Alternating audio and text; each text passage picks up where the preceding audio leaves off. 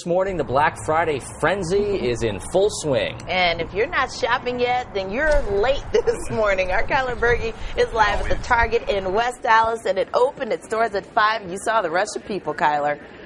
Uh, the rush of people. I'll tell you what, the line moved from outside to inside pretty quickly. I can tell you it starts way at the far end of the store, loops all the way around and then comes all the way back here. But it's moving pretty quick. Why is there such a big line?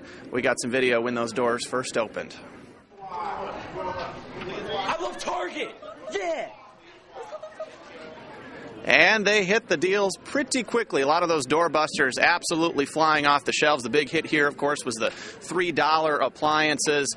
Uh, I saw one guy with six microwaves. Not sure what he was going to do with all those, but that's what uh, he had loaded up in the cart. Back out here live the line is moving pretty quickly as long as it is. They've got a lot of uh, cashiers trying to take care of people, and they're doing a pretty, pretty darn good job. Let's take a look at the line here and see what some of the hot items are. Looks like we got some water. Okay, that's probably not a gift. Uh, let's keep going here.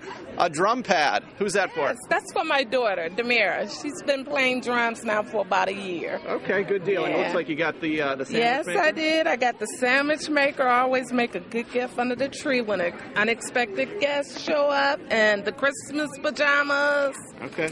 Yeah, so I'm set. All right. Awesome. well, good luck today. Well, thanks. So, as you can see, a variety of items here. Uh, people getting their Christmas shopping done quickly, and now, well, the deals are uh, new and fresh. And we were at the same store last year. I can tell you, much, much busier this year, uh, just from my uh, perspective. So, we'll be here uh, in the next half hour, talk to some more shoppers, and uh, we'll give you an update on what the line looks like in a half hour. Back to you guys.